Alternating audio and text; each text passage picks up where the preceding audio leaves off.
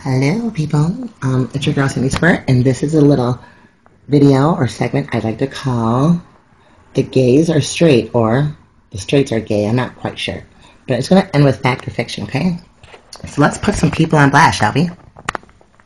What I mean by straight or gay is that. Here, we're going to go into my tag, for instance, okay?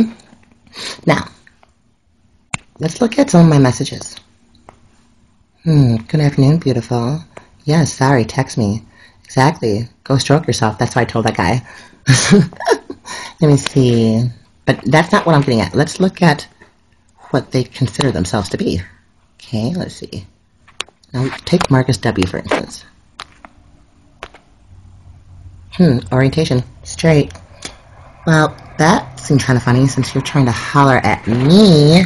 Straight would entail that you, like, what? Hmm? Pussy, right?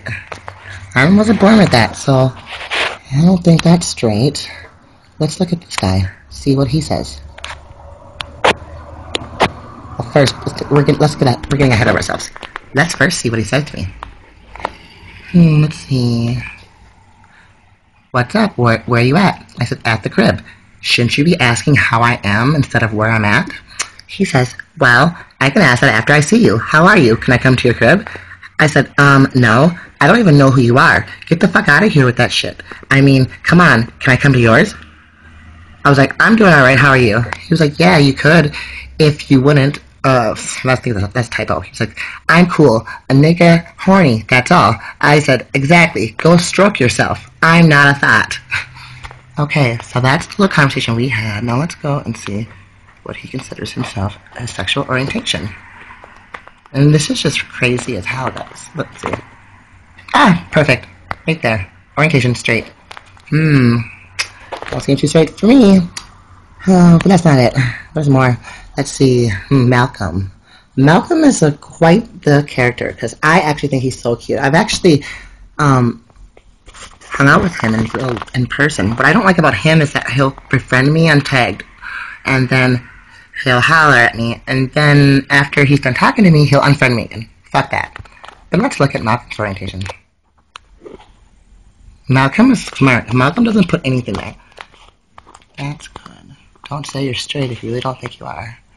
Let's see. This guy is so cute. And I really do think he's straight, I just haven't cracked him yet. so let's not use him as an example. Let me see. Who else do we have here? Hmm. all these guys, all these guys think say that they're straight, but they're not. So what is straight now? That's what I want to ask. That's my question for you guys. What is straight? As because you can see that they. Oh, and it's not that I misrepresent myself. Look, look, at me. This is who I am. Asia transsexual hottie Allen. Can't say I'm misrepresenting myself, right? I'm a chick with a dick that's being hollered at by straight men. But what is straight really?